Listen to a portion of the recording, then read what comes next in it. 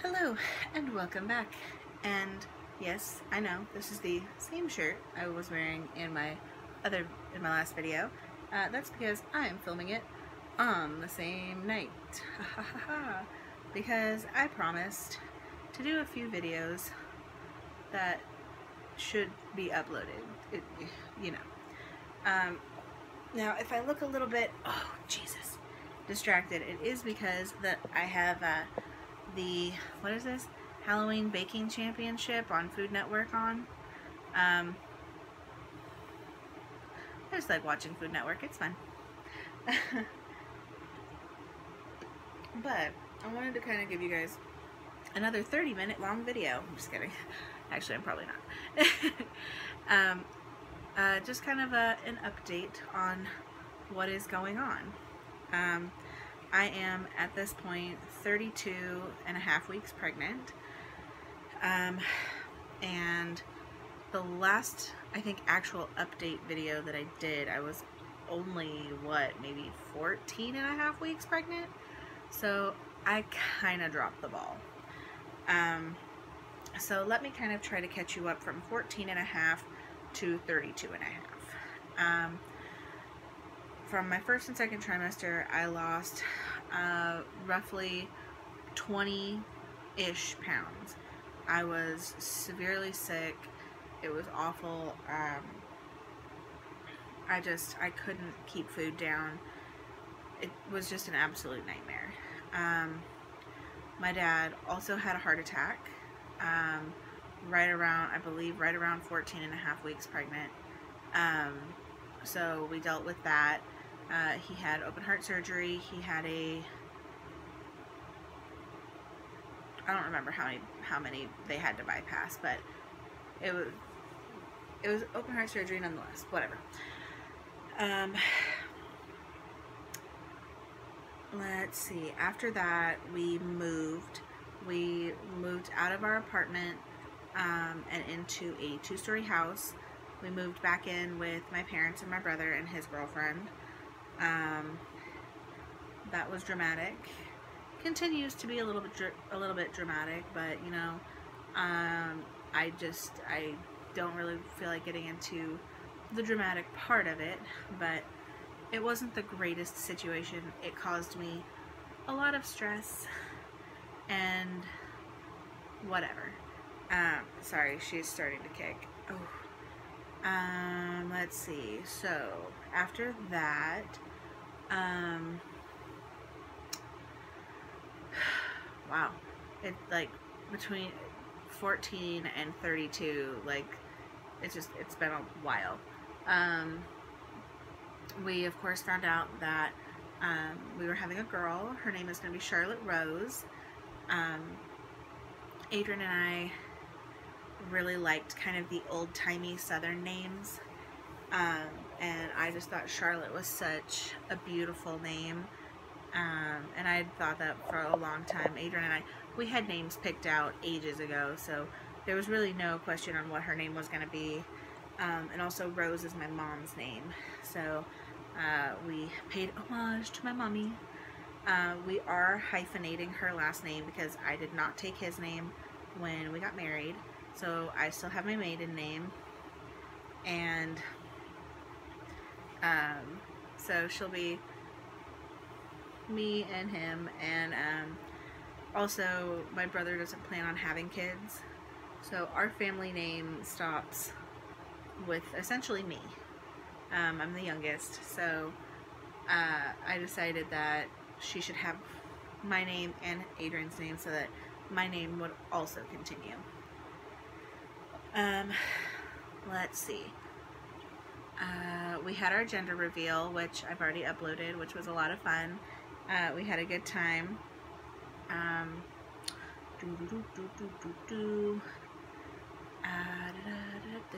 I, like, seriously, I'm trying to remember everything, but, like, me being pregnant and having pregnancy brain, like, is really hard. Um, we found out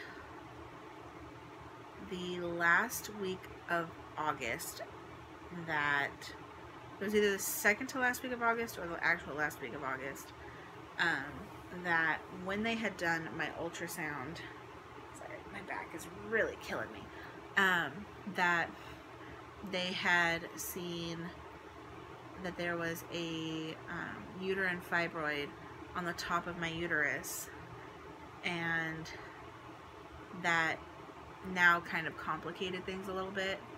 Um, they're extremely common. Pretty much everybody gets them when they get pregnant, um, or they have them before they're pregnant, and then the growth hormone um, just kind of makes it worse when you're pregnant, and they don't normally go diagnosed until you're pregnant um, because you're not normally getting like regular ultrasounds and stuff like that. So I could have very well had this fibroid uh, beforehand and didn't know about it, but um, they saw it on my ultrasound, and my doctor called me on the last day of August, which would have been a Thursday, and sorry, my husband just texted me. He says, "Love you." Um. So, uh, yeah, my brain is really not working very well. Um, my doctor called me. I was at the beach, and she was like, "There's nothing for you to be worried about right now because there's nothing that we can do about it right now. Um, we will not because I'm having a C-section." She goes, "We will not be taking the tum- the fibroid at the same time of delivery. Uh, your body's already going to be going through a lot on that day. Like, it's just it's not safe. We'll wait probably about six months after, see if it shrinks. Blah blah blah." Um, but the tumor, the fibroid at that time was, she said, the size of about, um, like a medium orange. Um, and that, and then on the first, I was at work and all of a sudden I couldn't breathe. My, the top of my stomach just blew up. I was so hard and I couldn't breathe and I was like, this is not normal. This is not okay. Like, what is going on? So I called labor and delivery and I was like, hey, these are the symptoms I'm having. This is what's going on. Um, do I need to come in? And they're like, yes, you need to come in like right now. And so there was some drama with me getting there and with my boss and whatever. Like, I'm, again, don't need to get into it because I don't need that drama in my life. So I go into labor and delivery and they start kind of like they are talking to me about my symptoms and they're and I tell them that I had just found out the day before that I had a uterine fibroid um, and this is kind of what's going on. So they asked, they're like, have you seen a prenatal specialist? I was like, no, why? And they're like, well, we're going to bring in our high risk specialist to talk to you. And I'm instantly, I'm freaking out. why do I need to talk to a high risk specialist? So they bring him in and he gets the ultrasound machine out. Uh, not the one that they shove in your vagina. Actually, I guess it's technically a sonogram. I don't know. Whatever. The one that they whoosh whoosh over your belly. And he hit a spot right here between my ribs and I thought I was gonna throw up. The pain was so bad. And he goes and he's he shows me the screen and there's this dark spot. This huge dark spot. And he goes, That is your uterine, uterine fibroid. That thing is the size of a cantaloupe. He goes, of a medium sized cantaloupe. And I was like, okay, well, I just talked to my OB yesterday, and she said a medium orange. A medium orange. A fucking cantaloupe.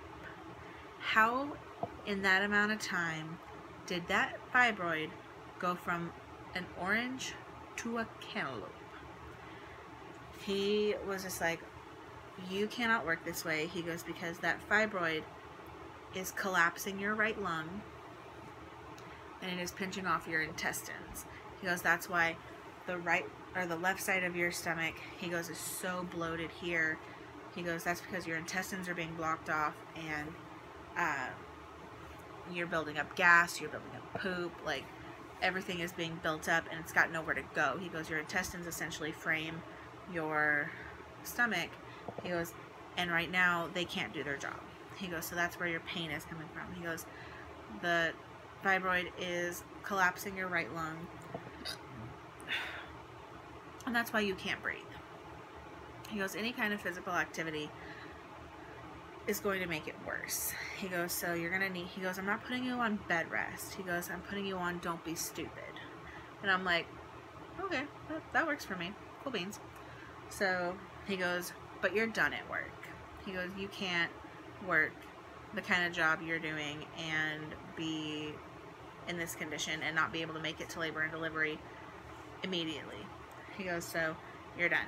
I'm like, cool. That has caused a slew of problems.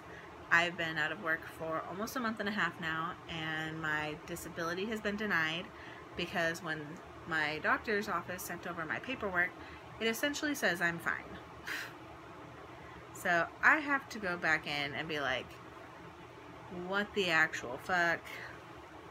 I can't, like, you need to retract all of this stuff, send a new paperwork, blah, blah, blah. So I have, I've been broke for almost a month and a half, and it's really bad. And so we've got, we, once I left work, we lost two thirds of our income and now we're kind of panicking a little bit. So uh, financially, we're not in a very hot spot right now, but luckily we are living with my parents, and um, they're definitely like helping us out and making making sure that we make ends meet. Um, my disability firm did say that my pregnancy leave has been approved so that's nice. Um, so hopefully I'll be getting some money soon. Hopefully. Um, right now it's just kind of insane. Um, I'm definitely... I didn't start showing that I was pregnant until about a month, month and a half ago. Between six and seven months I started actually showing. And now I'm getting really big. My, my dad's been laughing at me. Um, and I'm just, I'm really tired. I'm in a lot of pain. Uh, my body is starting to go numb. Um, I'm lo I lose the feeling in my right leg like all the time. Almost, I'm probably like 60, 60 to 75% of the time um, my right leg is completely numb. Like someone just walked up and just gave me dead leg um, which feels awesome, of course. Um, I've just started getting numbness today um, down the right side of my back and across uh, my right ribs. I'm to like totally numb. And let's see what else. Uh, my back is killing me. The heartburn is so unreal that I can't like hardly do anything. Um, it's just been kind of like it hasn't been a bad pregnancy it because it could have been like totally massively worse. But the parts that have been bad have just been really really really bad. So it's just been kind of a nightmare. Um, I really wanted to keep um, like my pregnancy videos like as real as possible. Like I don't want to sugarcoat things and be like, oh, everything is great. I feel awesome. Because truthfully, that doesn't help anybody. Um, the truth about my pregnancy is that it's been hard. I lost 20 pounds uh, just throwing up. I still can't eat very much. Um, I'm not throwing up like hardly ever now, but I've learned that I can only eat a very, very small amount, otherwise I will be sick. So um, I'm having to eat every like two hours. Otherwise, I'm starving and I'm miserable and I'm gonna throw up from being hungry. Uh, so that's fun. Um, it's just been kind of at this point, like I said, I'm 32 and a half weeks pregnant.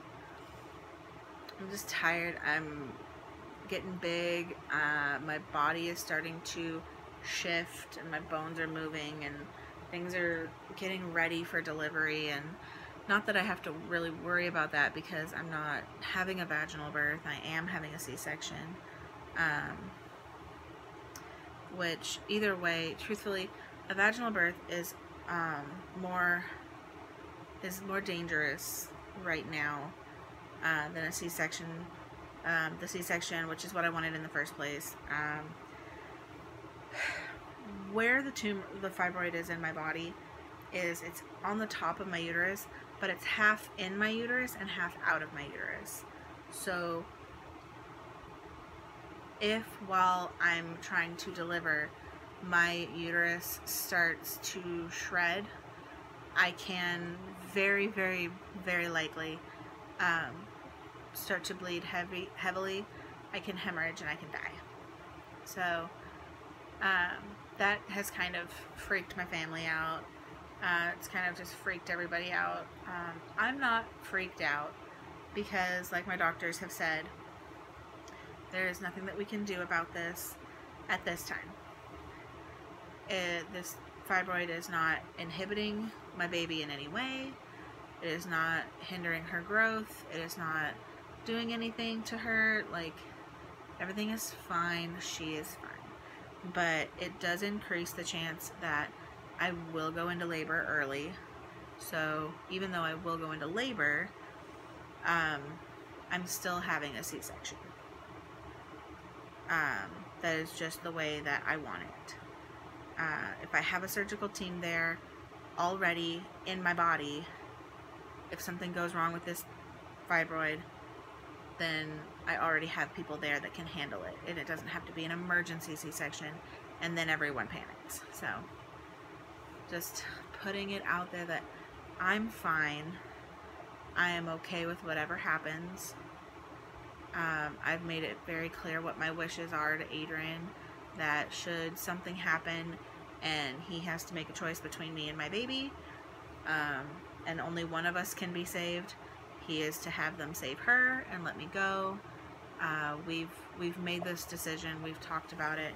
We are on board together, but the likelihood that something's going to happen is very very small. So I'm not super worried, and I can't stress out about things that I have no control over.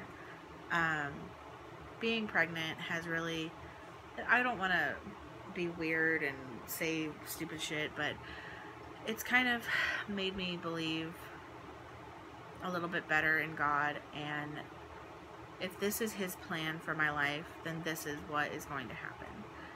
Uh, when they do go for this fibroid, um, it will be a hysterectomy, which means I will not have any more children. I have come to terms with that. I am okay with that the Lord is giving me one beautiful baby girl, and I am very excited to have her in my life. And I can't spend time being upset and fighting something that I can't control, something that I can't change. So I am totally fine. I have come to terms with all of this. I have total faith in my doctors. I have a great team of doctors and they are going to do what is best for me and my baby. So I am not stressing out. I'm freaking out. I am not. I am totally at peace with everything that's going on in my life. And that's kind of. Oh no. Sorry. The twist. You must cook with habaneros. Otherwise, you will die too. Well, at least it's not a Carolina Reaper. but, um, yeah. So, I'm just, that's where that's where we're at at 32 and a half weeks pregnant. I have in two weeks from today actually uh, my baby shower and I have my maternity pictures and I'm just hoping that I make it to my maternity pictures and to my baby shower and that she does not decide to come before then. So that is where we are at. I probably left out a ton of stuff, but you know, pregnant, brain not, not working. So I'm going to go ahead and just leave you with that. And look, it's not a 30 minute video. It's only going to be like 22. So, yay. Anyway, um, I will leave you guys here for now, and I will see you in my next video. I appreciate you guys tuning in and getting one of my videos in one week to almost 100 views. That was really freaking cool to open up my app too.